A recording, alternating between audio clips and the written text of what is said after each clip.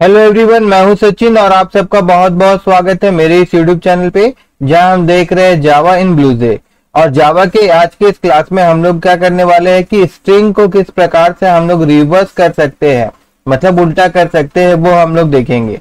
तो इस प्रोग्राम के लिए सबसे पहले मैं यहाँ पे एक स्ट्रिंग ले लेता हूँ, ठीक है?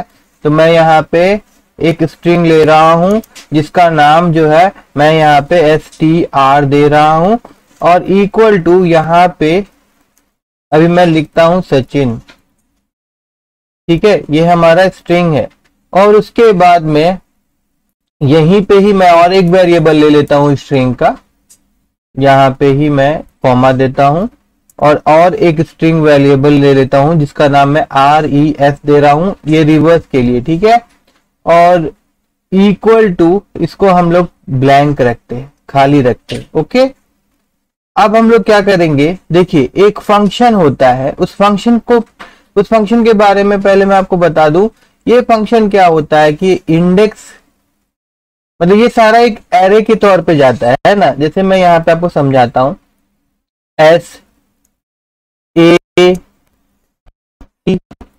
एच आई एन ठीक है? हर एक कैरे अपना एक इंडेक्स बन जाता है। जैसे कि एस के लिए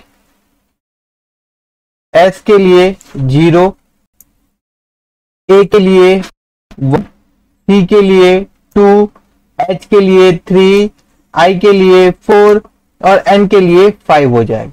ठीक है? तो अगर एक फ़ंक्शन है फ़ंक्शन का नाम है कैर एट और कैर एट ब्रैकेट और यहाँ पे अगर मैं ज़ीरो लिखूँगा तो ये मेरे को एस रिटर्न करेगा कैपिटल वाला एस पहला एलिमेंट अगर मैं वन लिखूँगा तो ये मेरे को ए रिटर्न करेगा। अगर मैं टू लिखू मतलब जिसका मैं इंडेक्स लिखूँगा, मेरे को वही कैरेक्टर ये रिटर्न करेगा। ठीक है, ये फ़ंक्शन का ये काम है। तो अब मैं क्या करने वाला हूँ? यहाँ से मैं ये सारा चीज़ को हटा दे रहा हूँ। तो अब इसी का मदद से हम लोग क्या करेंगे? नंबर्स हम लोग उल्टा में लेंगे मतलब रिवर्स ऑर्डर में लेंगे। ठीक है? तो अब रिवर्स ऑर्डर में लेंगे मतलब लास्ट से हम लोगों को शुरू करना होगा। अब लास्ट से शुरू करने का मतलब जैसे यहाँ पे सचिन है तो इसमें कितना है? One two three four five six है। तो अगर मैं सिक्स वन टू सिक्स है, मगर अगर इंडेक्स वाले हिसाब से देखे तो यहाँ पे क्या हो जाएगा कि ये ज़ीरो है, फिर वन है, फिर टू है, फिर थ्री है, फिर फोर है, फिर फाइव है। मतलब लास्ट वाला जो अल्फ़ाबेट कैरेक्टर है उसका इंडेक्स नंबर फाइव है। तो अब हम लोग को फाइव कैसे मिलेगा? तो मैं एक मेथड और आप लोगों को बताना चाहता हूँ। एक मेथड और है जिससे स्ट्रिंग का हम लोग लेंथ निकाल सकते हैं। ठीक है? तो यहाँ पे जैसे मैं लिखता हूँ आई एन टी और उसके बाद मैं यहाँ लिख देता हूँ एल और उसके बाद मैं यहाँ पे लिखता हूँ इक्वल टू और उसके बाद में S T R dot L E N G S T length इस फ़ंक्शन के मदद से मैं इसका लेंथ निकाल सकता हूँ। अभी अगर मैं प्रिंट करके दिखाऊँ तो ये मेरे को क्या देगा? System dot out dot print L N bracket open close और यहाँ पे अगर मैं एल लिखूं, यहाँ पे अगर मैं एल लिखूं तो ये मेरे को सिक्स देगा। ओके मैं कंपाइल करके आपको दिखाता हूँ। अच्छा यहाँ पे एरर क्यों दे रहा है? कि यहाँ पे string dot length L E N G T H देखिए टी एच होना चाहिए, मैंने यहाँ पे एच टी लिख दिया है। ठीक है, अब ठीक है ये? अब इसको मैं कंपाइल करता हूँ एक बार। कंपाइल किया मैंने, कोई भी एरर यहाँ पे नहीं दिखा रहा है। अब वापस हम लोग चलते हैं।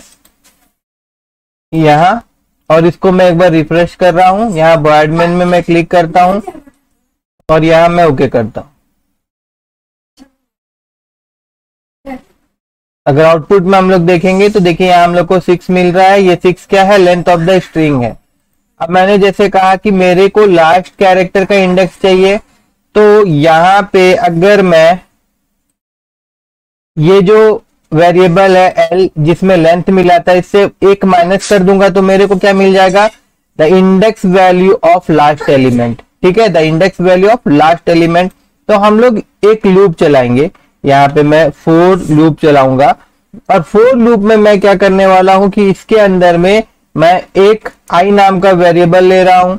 और इक्वल टू इसमें मैं क्या कर दे रहा हूँ? एल माइनस वन कर दे रहा हूँ। अब एल माइनस वन से क्या होगा कि last index value of element है ना? लास्ट एलिमेंट का जो इंडेक्स वैल्यू होगा, वो आई में स्टोर हो जाएगा, ठीक है? जैसे कि अभी आई में कितना हो जाएगा? फाइव हो जाएगा। और फिर मैं यहाँ पे कंडीशन दे दू कि आई का वैल्यू जब तक ज़ीरो से बड़ा होगा, ठीक है? तब तक लूप होते रहेगा कंटिन्यू ठीक है? या ज़ीरो के बराबर होगा या ज़ीरो से बड़ा होगा तो लूप होते रहेगा, चलते रहेगा। अब फिर मैं यहाँ पे आई में डिक्रीमेंट ऑपरेटर यहाँ पे यूज़ कर रहा हूँ। मतलब हर एक लूप के बाद में आई का वैल्यू घट जाएगा। हर एक लूप के बाद में आई का वैल्यू घट जाएगा। ठीक है? उसके बाद यहाँ पे मैं क्या करने वाला हूँ? यहाँ पे सिंपल मैं ऊपर में जो हमारा एक वेरिएबल था जो खाली है आर ई एस और ये इसका डाटा टाइप स्ट्रिंग था, इसको लूँगा प्लस इक्वल टू ठीक है? और प्लस इक्वल टू मैं क्या कर देने वाला हूँ? यहाँ पे मैं ये जो हमारा स्ट्रिंग है, उसको लूँगा, और इस पे मैं कैर एट वाला फ़ंक्शन यूज़ कर रहा हूँ, और इसके अंदर मैं क्या करने वाला हूँ? मैं आई को पास कर देने वाला हूँ। ठीक है? अब इस आई को पास करने से क्या होगा कि मेरे को यहाँ पे सबसे पहले लास्ट वाला एलिमेंट मिलेगा, क्योंकि आई का वैल्यू फाइव आएगा तो ये कुछ इस प्रकार से बनेगा। कैर एट और ब्रैकेट ओपन क्लोज के अंदर में आई का वैल्यू फाइव से स्टार्ट होगा। तो फाइव आएगा मतलब एन तो क्या हो जाएगा? एन कहाँ पे स्टोर हो जाएगा? एन एस ई आर में स्टोर हो जाएगा। ठीक है, कहाँ पे स्टोर हो जाएगा वो? एस में स्टोर हो जाएगा। फिर यहाँ जब फोर मिलेगा तो मेरे को उसका नेक्स्ट एलिमेंट फिर थ्री मिलेगा तो फिर उसका नेक्स्ट एलिमेंट इस तरह से ये कब तक जाएगा? जब तक कि ज़ीरो तक नहीं जाएगा और zero will give our give the first element of the string zero क्या देगा? ज़ीरो पहला एलिमेंट दे देगा। इस प्रकार से हमारा जो स्ट्रिंग होगा, वो रिवर्स हो जाएगा। अब मैं क्या करने वाला हूँ? इसको यहाँ मैं प्रिंट कर दूँगा आर ई एस को।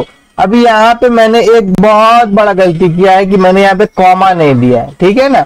अब वो कॉमा मैं यहाँ दे देता हूँ और उसके बाद मैं यहाँ कॉम्पाइल करता हूँ और कॉम्पाइल करने के बाद वापस हम चलते हैं यहाँ पे। और मैं यहाँ पे राइट क्लिक करता हूँ और वर्ड मेन में क्लिक करता हूँ और फिर ओके में क्लिक करता हूँ और अब हम लोग देखेंगे इसका आउटपुट तो यहाँ पे तो आउटपुट कुछ भी नहीं आ रहा है। देखिए, आ रहा है आउटपुट टूट गया था आउटपुट हमारा। तो क्या दिखा रहा है यहाँ पे? हम लोगों ने तो सचिन लिखा था, मगर आउटपुट जो आ रहा है, ये उल्टा आ रहा है। N I H C A S ठीक है? तो इस तरह से हम लोग स्ट्रीम को रिवर्स कर सकते हैं।